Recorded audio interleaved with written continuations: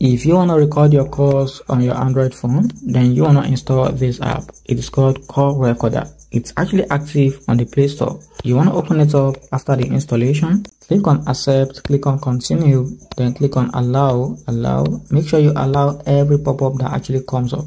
And this floating widget is very important. Click on continue and finish. Now you need to do some setups right? You need to close this particular pop-up here by clicking on this cross icon. Then on the next section here you want to click on the menu icon that you can see up here so if you click on it you are going to see this section that says recording settings. You want to make sure it's on automatic. By default it's automatic.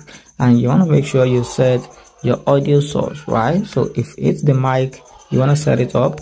If it's the voice call you want to set it up. What you have to set is this voice call. Because you basically want to record the voice of the caller right? Or the person you are actually trying to call. Now automatically all your calls are going to be recorded by this particular app now. And that's it. Whenever you receive a call and you pick up the call this app is going to record that call automatically. And it is now very very active. If you scroll down your notification bar you're going to see that it says call box recorder active once you've completed your call this app is going to bring this pop-up. You can actually play the call from here or you just go back and open the app afresh then you are going to see the call over here